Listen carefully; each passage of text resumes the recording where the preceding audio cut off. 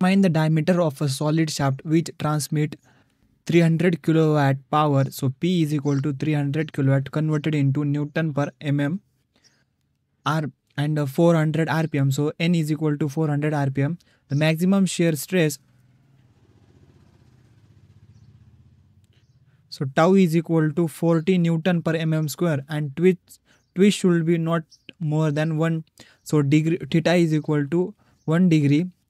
so 1 into pi by 180 is equal to 0.0174 radian and length is 3 meter so l is equal to 3 meter converted into mm and max the modulus of rigidity of the material is 1 into 10 raised to 5 so d is equal to to find diameter first we calculate first we find the torque. So torque to find torque we have formula p is equal to 2 pi nt upon 60 so power is equal to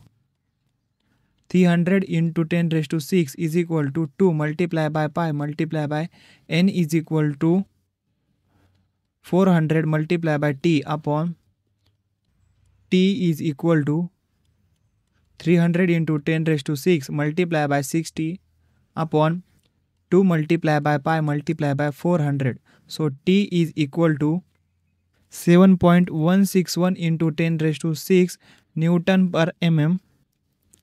diameter based on shear stress. So T by J is equal to tau by R. So T is equal to 7.161 into 10 raised to 6 divided by j is pi by 32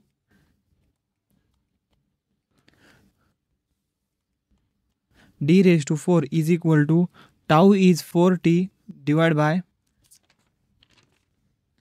r is d divided by 2 so rearranging this and 161 into 10 raised to 6 divided by 4t is equal to pi by 32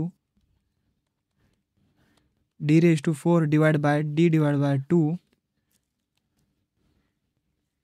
so first solve the right hand side equation to we get pi by 32 d raised to 4 divided by d divided by 2 is equal to 2 divided by 32 32 divided by 2 we get pi by 60 and this d and this d will become d, d, d raised to 3 so put this in equation and we get and solving this term we get 179025 is equal to pi by 16 d raised to 3 pi by 60 is equal to 0.196 d cube is equal to 179025 divided by value of pi by 16 0.196 so so d cube is equal to 913393.85 so cube root put this value in cube root we get d is equal to 913393.85 so d is equal to 97.02